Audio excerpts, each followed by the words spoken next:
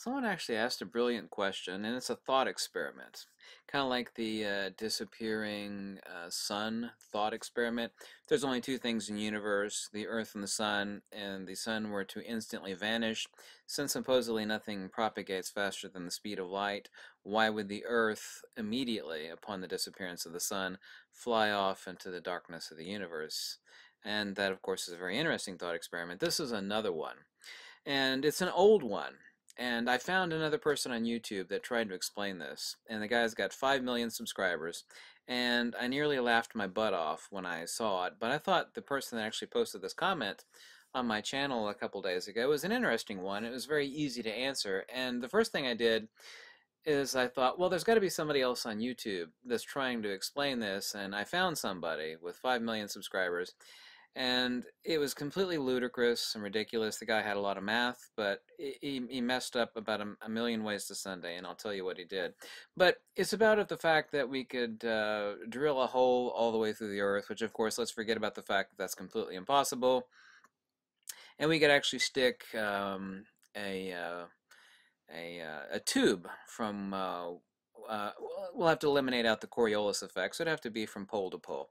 A hollow tube from uh, one side of the earth to the other and would drop sometimes this is about a human being falling through the earth you know what would actually happen? Would they fall all the way to the other side or what would happen so it doesn't matter if it's a human being or a bowling ball. So it's a thought experiment. So let's just suspend disbelief as far as the impossibility of doing that. And of course, no scientist on Earth knows the absolute density of the core of the Earth or the outer core and how big they are relative to each other or the density of the mantle, and of course we have the crust. So we can eliminate out those variables, and we can actually uh, make intelligent conclusions um, based upon the nature of pressure mediation, the things I've been talking about through countless thousands of videos.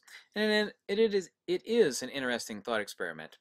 Um, what would actually happen when a, a, bowling ball or a person makes no difference would fall through the earth? They fall all the way to the other side. Would they go to the center and stop? You know, what would happen? And uh, understanding. Uh, and by the way, I've said this countless thousands of times before. At the center of every field modality, there is not that field. At the plane of inertia, at the center of a magnet, there's no magnetism. At the uh, center of any mass, there is no quote unquote gravity. Of course, gravity doesn't exist. Ultimately, the phenomena, of course, is mutual mass acceleration, no different than magnetic attraction. The only distinction or differentiation uh, the devil in the details, if you will, is in the nuance. One is point source and the other one is non-point source mutual mass acceleration, i.e. so-called gravity. What it is is dielectric torsion. Okay, it's not the bending of space and time. Space has no properties and time is only a measure, so it's certainly not that. So we can't agree with uh, the idiocy of Einstein or that of uh, relativity in general, but let's first go to the mistake this person made, and this is a person with 5 million subscribers. I couldn't believe he said something this stupid but he actually said it. And he had a lot of math, but he actually had no math for this, but he he said it as if this were de facto the case. And I'll tell you the idiocy of it. He showed the ball or the person, I think his demonstration was a person, it makes no difference.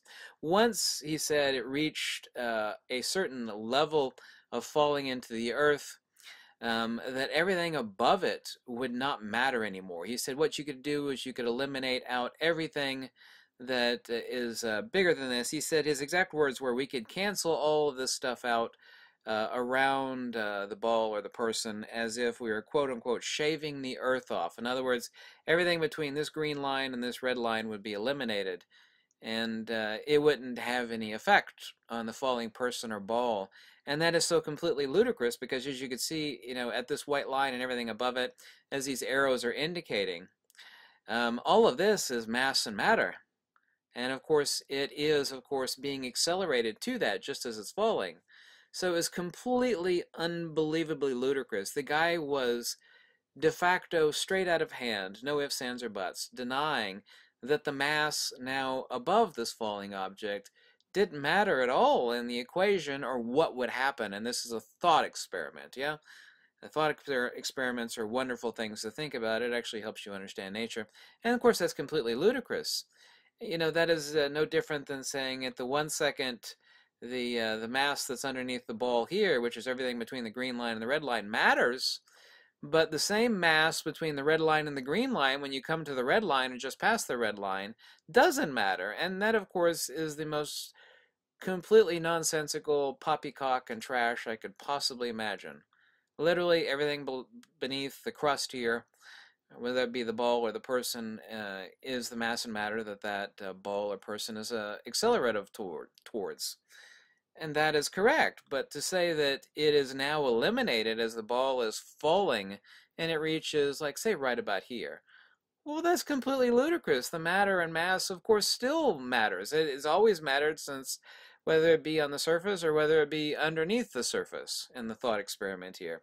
I, I nearly laughed myself to death because these are accelerative vectors in our imaginary hollow tube that passes uh, from one side of the Earth to the other.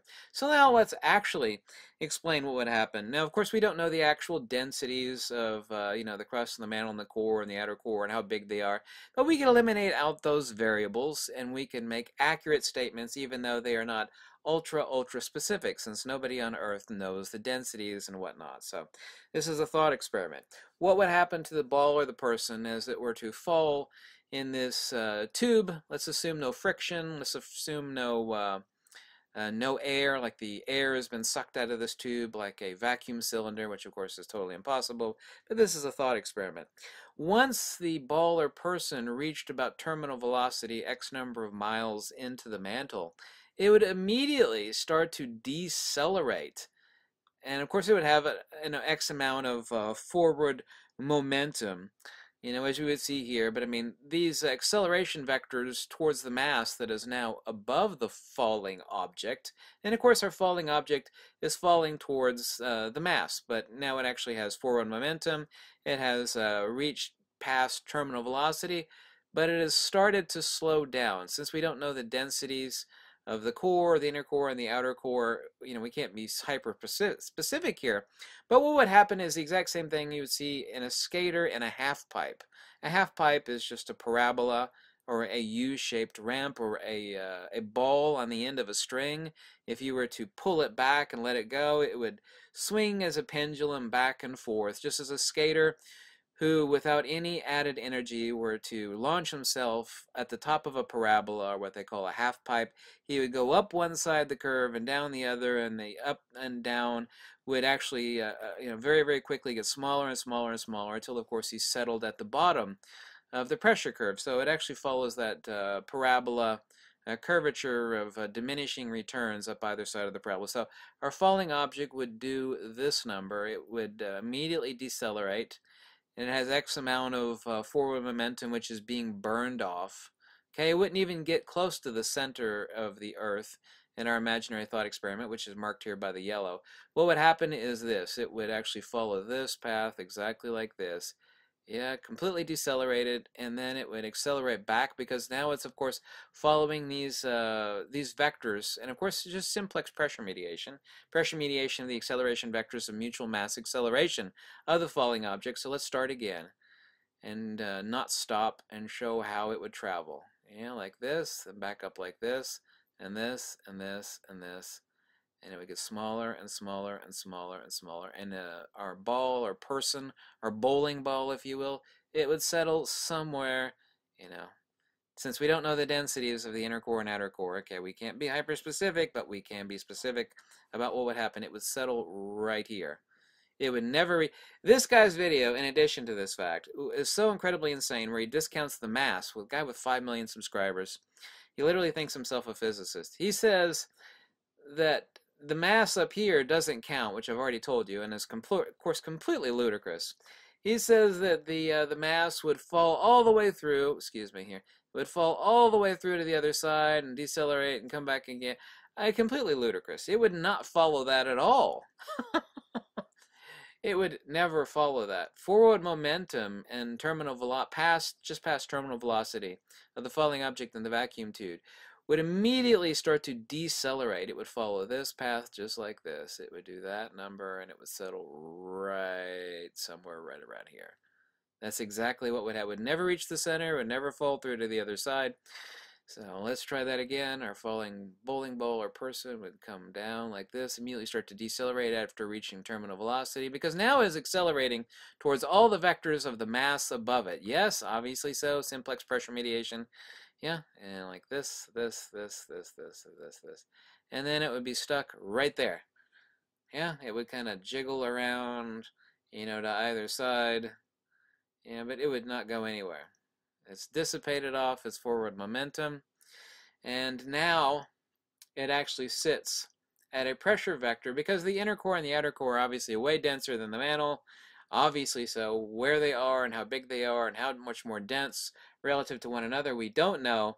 But what we would know is that the pressure vectors of acceleration of the falling object would be such that um, the uh, the cancellation of the forward momentum of the falling object would mean that it would arrive at a I'm using four arrows here okay would arrive at a point somewhere right around here one last arrow if you hold with me here because the acceleration vectors towards the much more dense inner core and outer core means that it is now I'm trying to just touch there we go the object it would settle right around there somewhere. Yeah. So there's the answer to the uh, person falling through the earth or the object thought experiment. Um, I can't believe that guy's got 5 million subscribers. That was the most ludicrous thing I've ever seen. I thought I would do a YouTube search because someone else has tried, you know, to answer this thought experiment, which is quite old. It's been around for decades. And I can't believe the guy said something so incredibly stupid over and over and over again. But that is what would happen. So I love thought experiments. And uh, this one was very easy. Uh, that other guy, I won't mention who it is, is exactly what Nikola Tesla meant when he said someone that can think uh, very deeply but can't think clearly.